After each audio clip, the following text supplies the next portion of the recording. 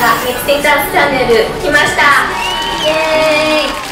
アミさんではよろしくお願いします。お願いします。はい。では最初はアミさん自己紹介お願いします。はい。私は今第一生命 D リーグで優先ネクストアイムーンのメンバーとして活動しているアミです。よろしくお願いします。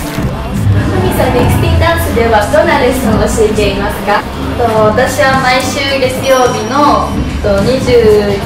時10分からと K-POP のカバークラスをやらせていただいていますアミさんは D リーグの活動につい。てどんなことをしていますかはいえっと今年の1月から D リーグというプロダンスリーグがスタートしましてえっとその D リーグはえっと2週間に一度9チームが1つ作品を作って毎ラウンド全然違った作品を作ってと合計12試合かけて、と、チャンピオンを決めていくリーグとなっています。どうやって D リーガーになったのかを教えてもよろしいですか、えっと、私はの優先ネクストアイムーンのディレクターの方がルーさんという方なんですけどルーさんの、えっと、インスタグラムでその募集を見てで活動してみたいなって思って、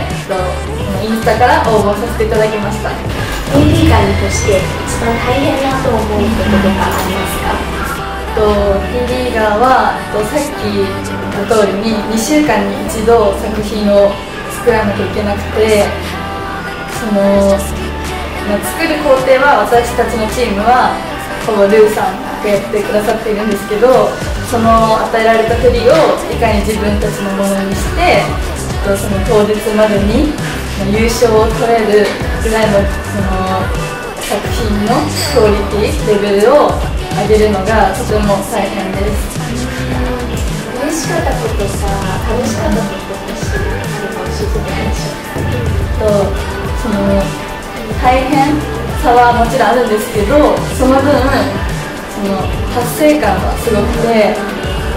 T リーグという大きなステージに立たせていただいて本当に毎試合終わった後にファンの方とかからなんか DM とかメッセージがすごい届いて本当にそれ嬉しいしやりがいだなってすごい思います。アミさんはいつから K-POP のカバーダンスをやっていますか？えっと、私は小学校の頃から K-POP がすごい好きでその頃はなんか、まあ、学校とか家とかで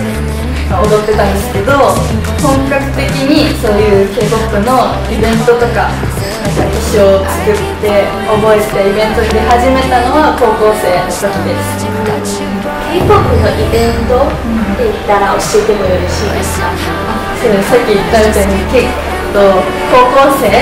の時から K-POP のイベントに出ていて中国イベントだったりあと KP ショーっていう新宿フェイスでやるイベントがあとはなんか地域のイベントとかいろいろ出てで一番思い出とか残ってるのはとなんか優勝したらなんか韓国に行けるみたいな大会があって優勝できなかったんですけどその関東大会で3位以内に入ってなんか全国大会まで進めました。アミさんのようなダンサーをこれから目指す方へアドバイスもしありましたらお願いします。はい。と私が今こうやって B リーグのステージに立てているのは、うん、ルーさんの振りをもうやったことはなかったけどそこに出たいっていうすごい強い意志があってでそこに挑戦する自分の気持ちがすごい大切だなって思ってそのオーディションをやって。だから皆さんもなんかあのちょっとでもやりたいとかなんか気になったことなんかそういう例えば k p o p アイドルにちょっとなってみたいとかそのちょっとでも思ったら行動することが大切だなってすごい思います。ざい。ますミキテダンスでレッスンをやってみてどうですかとすごい。スタジオがまず可愛くてなんか映像